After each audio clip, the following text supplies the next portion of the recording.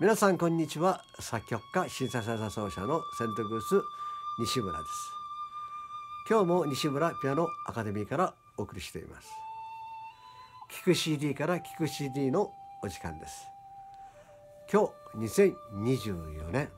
3月28日木曜日。今日の通話の言葉は生きる力を引き出す食事療法。生きる力を引き出す食事療法。そして今日の BGM は西村直樹やバチカンにおいてロマ法の前で日本人として初めて越見演奏したそのライブを収録したアルバム「宇宙巡礼 in バチカン2」今日はこのアルバムの中から「退治」をお送りしています。尺八は田辺正山さんです。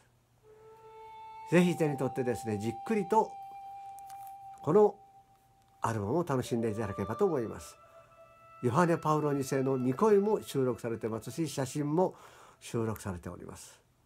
ぜひ楽しんでください。それでは今日一日が皆様にとって素晴らしい一日でありますように。